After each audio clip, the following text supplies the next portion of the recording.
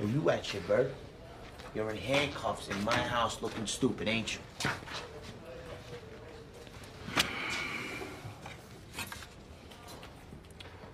Fleeing and eluding? We have a drug charge here? Loitering, a designated drug-free zone. Let me rephrase. Do we have drugs? He raised up when we hit his corner and he grabbed this bag. We pursued and recovered the bag.